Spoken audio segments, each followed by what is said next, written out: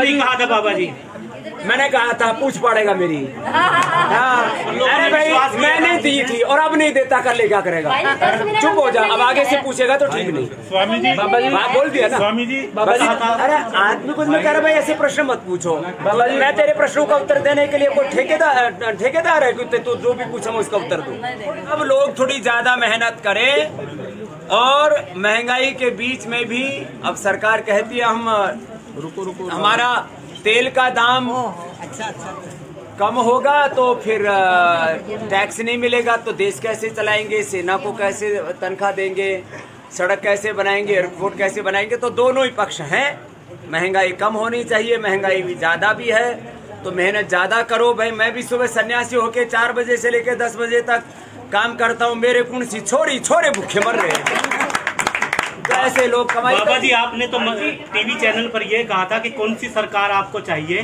चालीस रूपए पेट्रोल वाली सरकार तीन सौ रूपए सिलेंडर वाली सरकार। हो गए तेरे बाबा अच्छे जी अच्छे भी कहा कुछ आप ही ने कहा था सरकार बनाई बनी थी। ठीक है, आप ही हो ने- गए ना तेरे प्रश्न। बाबा जी आपने कहा था कि नहीं कहा था बाबा जी?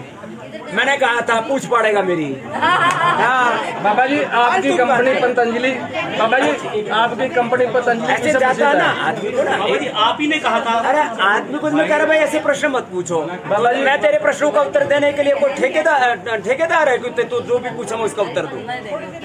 शांत। जब एक बात कह दी थोड़ा सभ्य बनना भी सीखो। आप ये बताओ एक मिनट सभी टीवी चैनल पर आप ही की बाइट चली थी।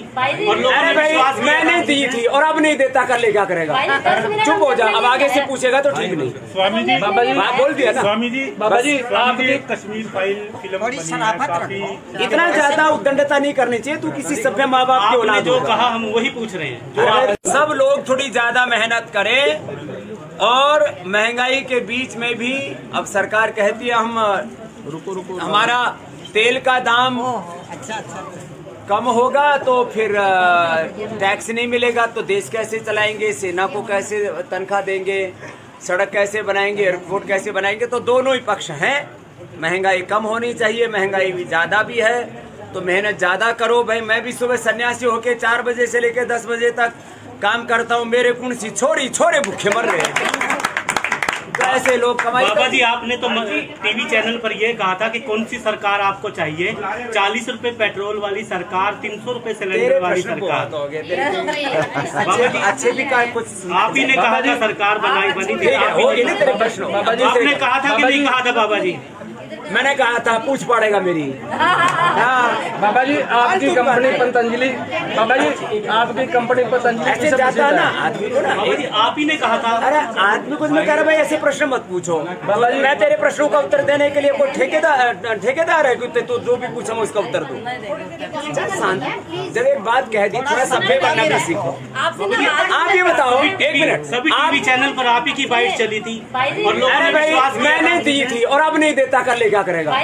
चुप हो जा। अब आगे से पूछेगा तो ठीक नहीं। स्वामी जी। बाबा जी बोल दिया ना। स्वामी जी। बाबा जी। आप